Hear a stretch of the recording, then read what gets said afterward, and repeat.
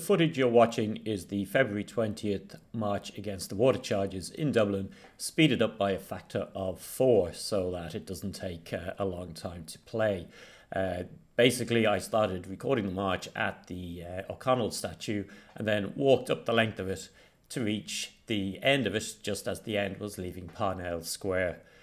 The march took place the Saturday before the general election is to take place, and it's a good time to ask with the election drawing close, is this really going to bring the change we're looking for? Should campaigning for the elections have become such the big priority that it did? I'm inclined to say no, uh, and the reason for that is I think real change only comes from grassroots activity, from bottom up, and grassroots activity which is in direct competition for resources in terms of time, money, and effort with electoral campaigning.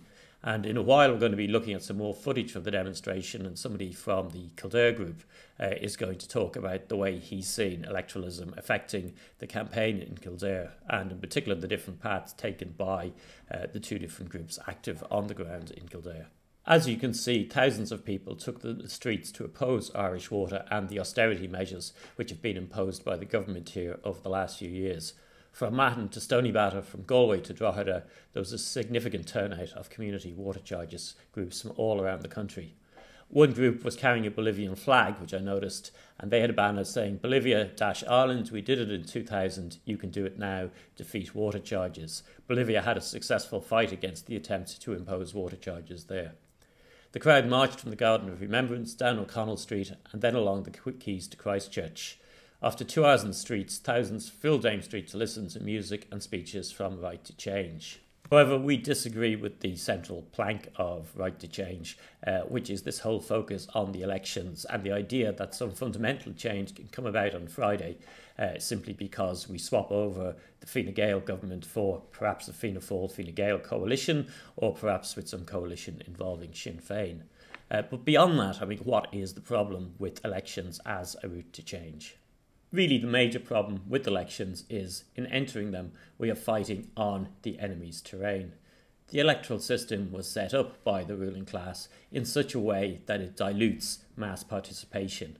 Instead of us organising for ourselves, we're forced to choose one or more leaders from amongst us and put these people up in order to represent us. Sometimes this works out okay, and sometimes this works out very, very badly. At different points in quite recent history, people have elected the Green Party into government and then the Labour Party into government, only to find, to their horror, that in power they were really quite indistinguishable from Fianna Fáil or Fine Gael. I believe this cannot be explained through the language of bad leadership or betrayal, but rather we have to look at the way the system itself promotes those sort of transformations in political parties that sees the radical opposition parties of yesterday becoming the enforcers of the status quo of today.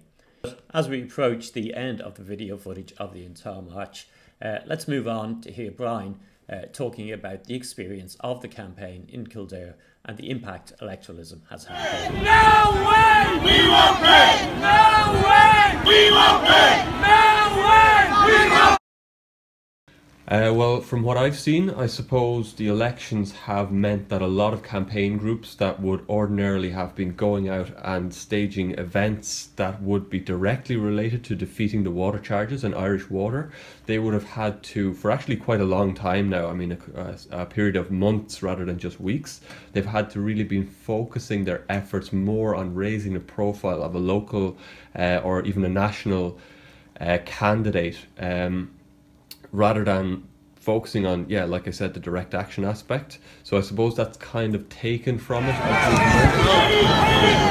the other notable thing about Saturday was, of course, the media coverage of the demonstration. We talked to Tom on the day about how he thought that was going to go.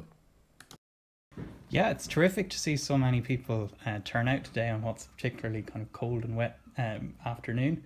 Um, but I wonder how this protest is going to be covered in the newspapers tomorrow, if it's going to be covered at all.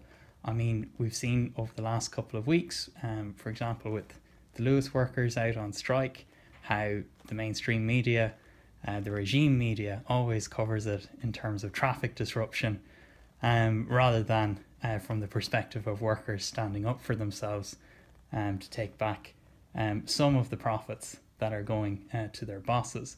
So, similarly, today, I, I wonder uh, will the media even cover this demonstration? And if they do, will they get beyond the usual kind of narrative of, um, you know, just traffic disruption on a Saturday afternoon? Um, so I, I think as anarchists, we really feel it's important that we create uh, new kinds of projects for sharing news and information about the campaigns that we're involved in that we think are important for creating a free society.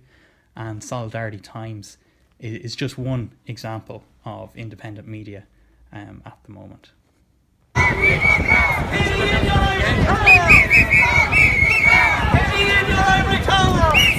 There's no denying that for a lot of people, Friday's elections will be an opportunity to throw a very much hated government of the Labour Party and Fine Gael out of power.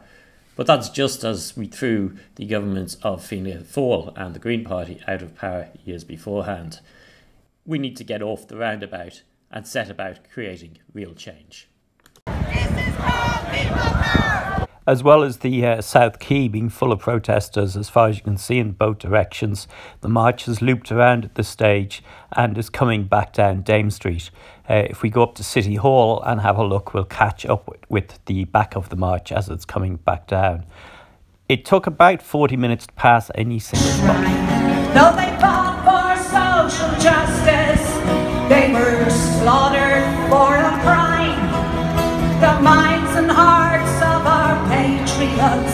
Cut down